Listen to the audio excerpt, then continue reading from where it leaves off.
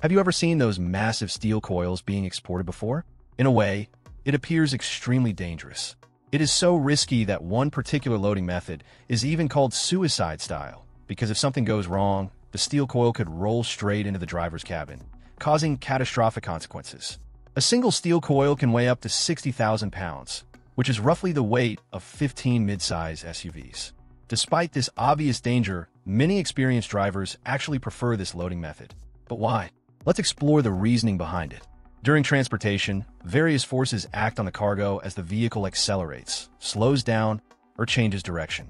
Because of inertia, a steel coil will attempt to keep moving in the direction it was originally going. If improperly secured, the damage a loose steel coil can cause is massive. Once it starts rolling, there is virtually no stopping it, and it could lead to a tragic accident. Therefore, proper loading and securement of steel coils on public roads is a matter of life and death. When you see massive steel rolls on trucks, you might instinctively think, this looks extremely dangerous. Why not just lay them flat on their sides to prevent them from rolling? While this seems logical, there are critical reasons why steel coils are loaded in specific ways.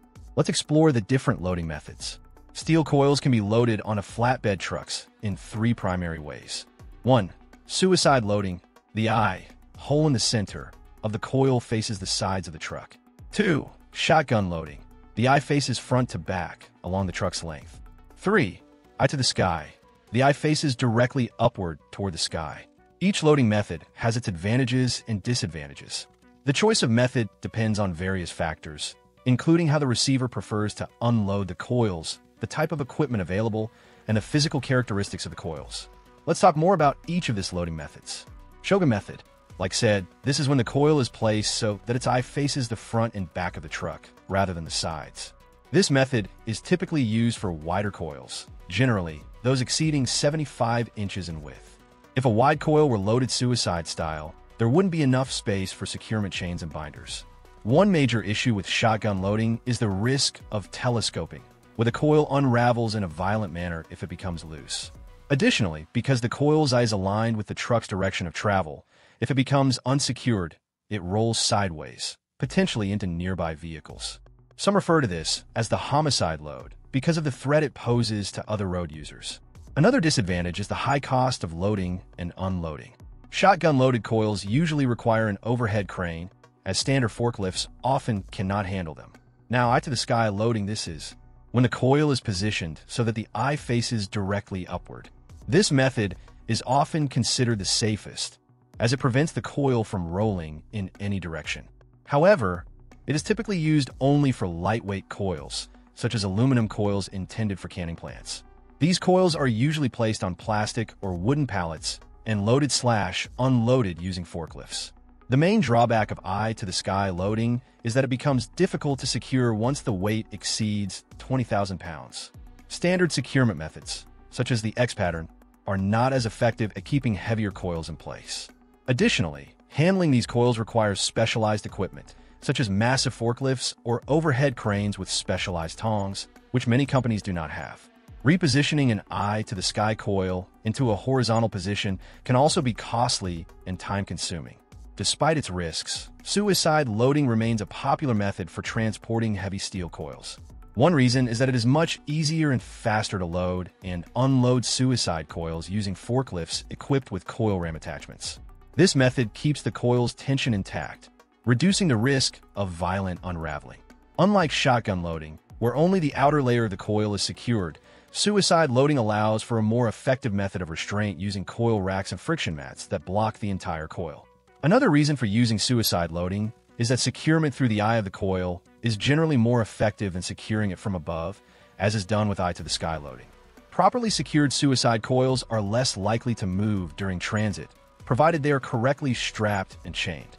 Additionally, some drivers prefer suicide loading because, in the event of an accident, the coil is more likely to roll toward them rather than into surrounding traffic.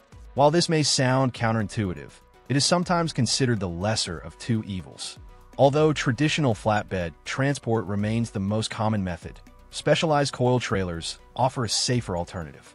Companies like Adams Trucking use custom-built trailers that cradle the steel coil in a recessed pocket, preventing it from moving while also allowing for additional securement using designated tie-down points.